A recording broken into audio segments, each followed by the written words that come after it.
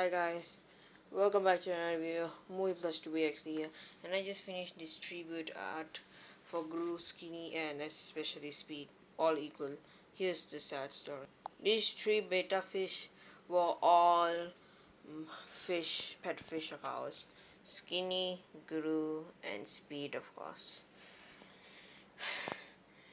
Uh, they were they had the Skinny was the female, Gru was the male. Just to be honest.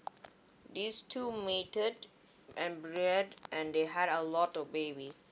Tragically, all of them died except for Speed. Speed was the only living one. Sadly, after bringing Speed in from the, from the other tank, bring him right next to Skinny, after a few days, Skinny died. And uh, just like one or two months ago, Gru also died. And tragically, a few days ago, Speed died. I am very sad for all of these.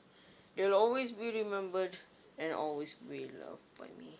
This video, this painting and drawing might not be last in the future, but at least this video will be in the be in there as a memory forever, never to go away ever in my whole life. I'm very happy that these three were our pet fish.